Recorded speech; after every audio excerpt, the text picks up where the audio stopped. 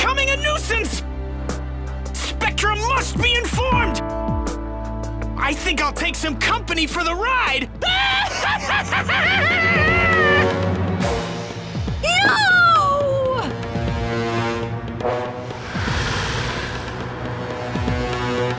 Mira! Ta-ta, bro!